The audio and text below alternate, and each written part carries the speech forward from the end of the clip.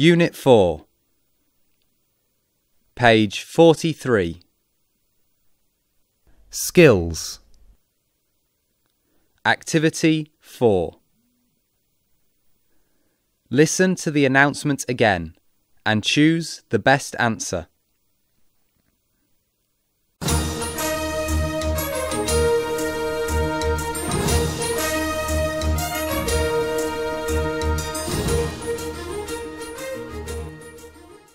This is a public service announcement for the Heart to Heart charity.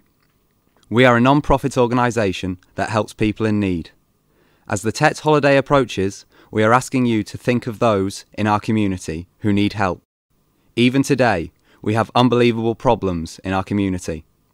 Many children and adults are hungry, cold, and sick every day. Our goal here at the Heart to Heart charity is to help those people. To do this, we need your help. To help, you can do one of three easy things.